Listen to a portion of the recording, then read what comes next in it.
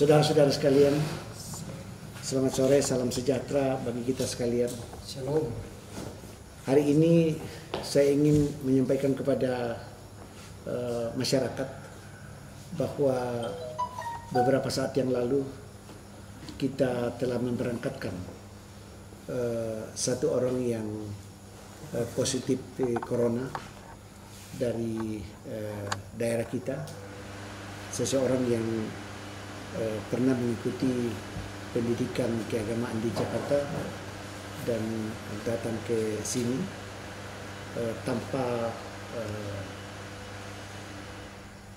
komunikasi informasi kepada petugas-petugas kesehatan kita yang eh, mestinya dilakukan seperti itu.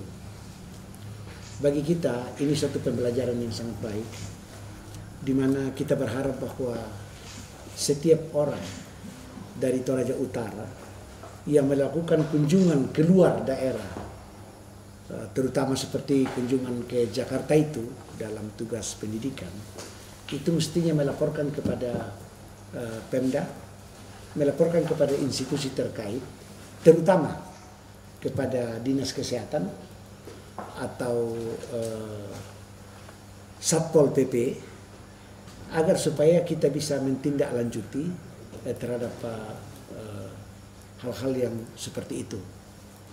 Pembelajaran ini eh, mengingatkan kita semua bahwa apa pun yang terjadi di dalam eh, setiap kepergian kita ke luar daerah, terutama ke daerah-daerah zona merah seperti eh, eh, Tangerang, Jakarta ini, itu harus melapor karena apa pun juga itu eh, virus yang apa kena di luar itu datang ke sini itu tumbuh tumbuh dan seterusnya itu akan dapat membahayakan eh, lingkungan sekitarnya.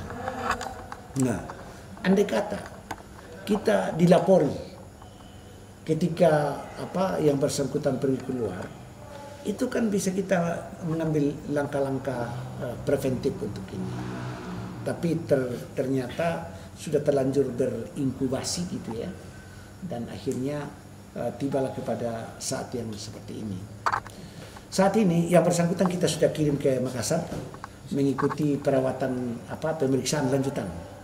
Eh, ikut dalam program yang disebut oleh Pak Bapak Gubernur sebagai wisata eh, Covid wisata kopi. Yang bersangkutan sudah ke sana. Dan keluarganya yang uh, tinggal satu rumah dengan yang bersangkutan di sini akan segera saya uh, rapid ya, rapid test uh, ini hari juga untuk menentukan posisinya agar supaya menenangkan hati uh, masyarakat terutama tetangga-tetangga sekitarnya bahwa pada dasarnya yang kena itu cuma satu tidak tidak semuanya jadi saya mohon kepada seluruh rakyat Toraja Utara untuk mulai lebih berterus terang terhadap uh, setiap kunjungan-kunjungan keluar. Begitu pula dengan saudara-saudara kita yang datang dari luar, itu terus terang. Karena apa pun juga, itu tidak bisa tiba di sini langsung hilang itu virus dalam dirinya.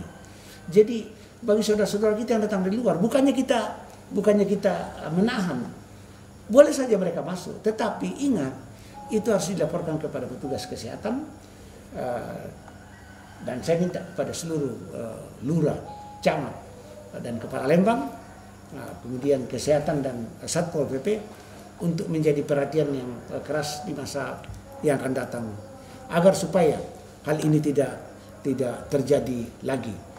Besok saya akan membuat uh, menggelar rapat untuk memperketat uh, seluruh uh, langkah-langkah preventif yang kita butuhkan di Toraja Utara, uh, terutama posisi-posisi uh, setiap uh, uh, Lembang, setiap uh, kelurahan dan setiap kecamatan itu harus ada kejelasan-kejelasan posisi uh, daripada uh, virus corona ini.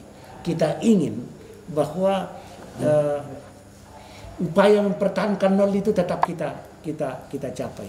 Karena ini sudah berangkat ke Makassar, itu kan sekarang kita tetap dalam posisi nol kembali sama dengan uh, Selayar, Kabupaten Selayar itu itu juga pernah ter uh, ada hasil swab di situ kemudian dibawa ke Makassar kembali nol dan itu artinya mereka berada dalam posisi zona uh, biru kembali.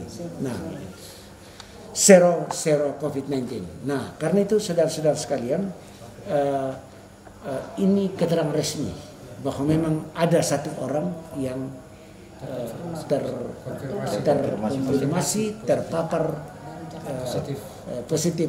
corona dan itu sudah dibawa ke Makassar. Nah, sekarang ini kita berada dalam posisi uh, zero COVID-19 kembali karena yang bersangkutan sudah pergi ke sana dan itu sudah kita percayakan bahwa itu sudah akan mengalami perawatan yang intensif di situ disambut dengan baik oleh kepala dinas kesehatan provinsi Sulawesi Selatan karena kita sudah menjalin uh, komunikasi baik dengan dengan uh, mereka. Inilah beberapa hal yang dapat saya sampaikan kepada kita semuanya.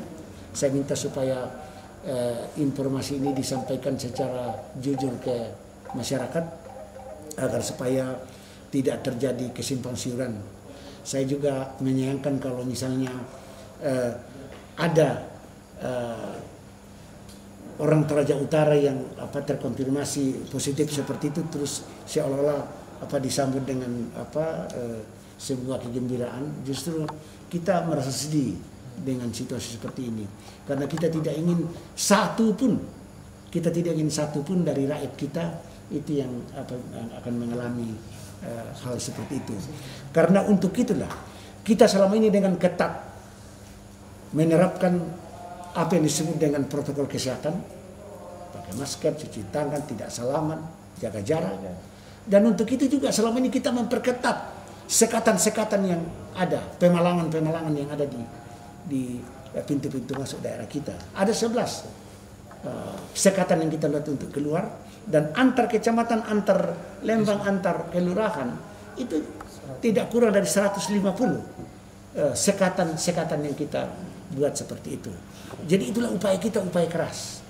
Nah, ternyata ini ada satu apa yang apa eh, lolos eh, terkapar dan itu sudah kita sudah kirim ke Makassar. Jadi yang bersangkutan sudah dikirim ke Makassar dan keluarga yang apa mereka di sini terus malam ini juga kita uh, melakukan apa rapid itu rapid test untuk uh, memposisikan bagaimana kesekian keluarga yang ada di rumah yang bersangkutan itu itu uh, posisi posisi virus corona yang seperti apa. Ya.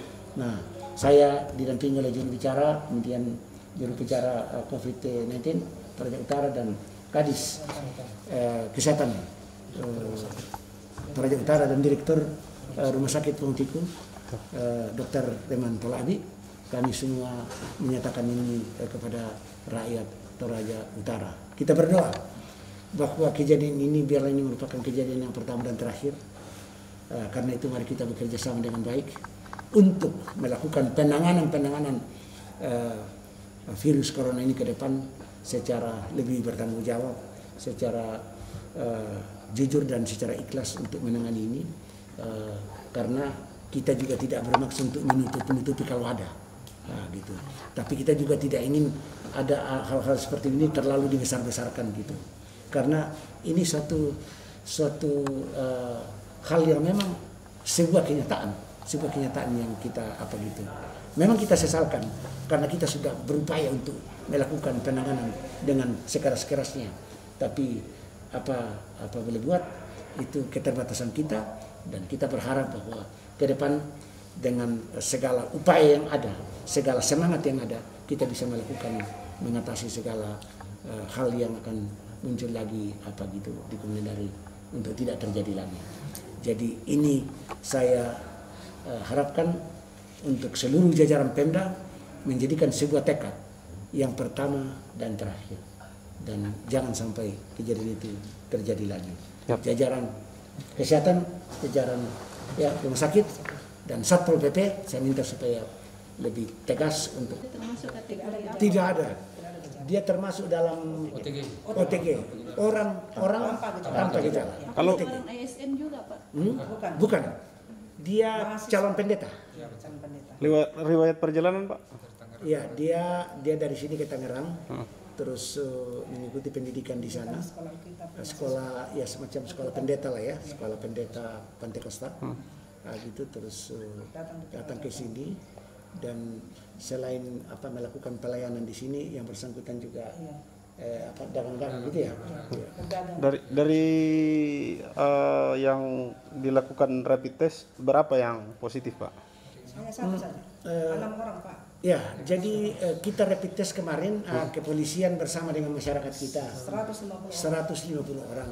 Enam yang positif. Dari 150 orang terdapat 6 yang positif, Reaktif. eh, eh, 6 yang reaktif. eh, Dilakukan swab. enam jadi empat orang dari kepolisian ya, Iya.